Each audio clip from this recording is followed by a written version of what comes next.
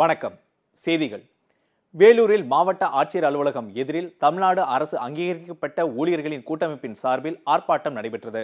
வேலூர் மாவட்டம் வேலூரில் மாவட்ட ஆட்சித்தலைவர் அலுவலக வளாகத்தில் தமிழ்நாடு அரசு அலுவலர் ஒன்றியம் அரசு அலுவலக உதவியாளர் மற்றும் அடிப்படை பணியாளர் சங்கம் அரசு துறை ஊர்தி ஓட்டுநர்கள் சங்கம் ஆகியவைகள் இணைந்து கூட்டமைப்பின் சார்பில் ஆர்ப்பாட்டம் நடைபெற்றது. கூட்டமைப்பின் மாவட்ட தலைவர் அருணகிரிநாதன் தலைமையில் நடைபெற்ற இந்த ஆர்ப்பாட்டத்தை நேதாஜி துவங்கி வைத்தார். இதில் திரளான அரசு ஊழியர்கள் கலந்து கொண்டு கோரிக்கைகளை வலியுறுத்தி கோஷங்களை எழுப்பினார்கள்.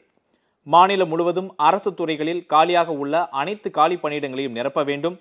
அரசு ஊழியர்களுக்கென தனியாக நிர்வாக தீர்ப்பாயம் ஒன்றை ஏற்படுத்தவும் புதிய ஓய்வூதிய திட்டத்தை ரத்து செய்யவும் ஊதிய குழுவில் உள்ள முரண்பாடுகளை களைய கோரியும் மருத்துவ காப்பீட்டுத் திட்டத்தை அரசு ஏற்று நடத்த கோரியும் உள்ளிட்ட பத்து அம்ச கோரிக்கைகளை வலியுறுத்தி இந்த ஆர்ப்பாட்டம் நடைபெற்றது.